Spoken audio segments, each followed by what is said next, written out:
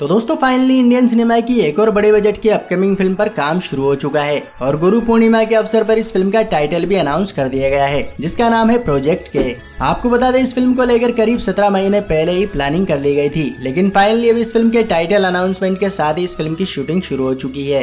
इस फ़िल्म में south superstar Prabhas के अलावा बॉलीवुड के महानायक अमिताभ बच्चन और actress Deepika Padukone lead role में नज़र आने वाली है। यह फ़िल्म एक साइंस फिक्शन फ़िल्म होगी, जिस पर करीब साढ़े करोड़ रूपए खर्च किए जाएँगे। で तो दोस्तों, वेजंती मूवीज़ बैनर तले बन रही इस फ़िल्म को नागा अश्विन डायरेक्ट कर रहे हैं। खैर, इस फ़िल्म को मिलाकर प्रभास की यह चौथी फ़िल्म है, जिसकी शूटिंग शुरू हो चुकी है। क्योंकि प्रभास पहले ही राधे श्याम, सालार और आदि पुरुष जैसे बड़े प्रोजेक्ट की फ़िल्मों पर काम कर रहे हैं। तो इस फ़िल्म के साथ यह फ़िल्म पैन इंडिया की सबसे बड़ी फ़िल्म होने वाली है। क्योंकि इस फ़िल्म के तीनों ही कलाकार काफ़ी बड़े लेवल के हैं और इनकी फ़िल्म फॉलोइंग भी काफ़ी ज़्यादा है। लेकिन दोस्तों, फ़िलहाल तो बॉलीवुड के बिग बी अमिताभ बच्चन के सितारे गर्दिश में है। क्योंकि हाल ही में बॉलीवुड में उनकी जो भी फ़िल्में रिलीज़ हुई है, वो सभी की सभी या तो एवरेज रही है या फिर फ्लॉप रही है। लेकिन इस फ़िल्म के साथ ही अमिताभ बच्चन के पास एक मौका है, जिससे वे ऑडियंस के दिलों में फिर से अपने लिए जगह बना सकते हैं। तो दोस्तों, इस फ़िल्म को लेकर आपकी क्या राय है कमेंट में ज़रूर बताना। बाकी ऐसे ही वीडियोज़ के लिए आप हमारे चैनल फिल्मी रंजन हिंदी को सब्सक्राइब कर बेलाइकन ज़रूर दबा लें। तो फिर मिलते हैं एक नए वीडियो के साथ, तब तक के लिए गुड बाय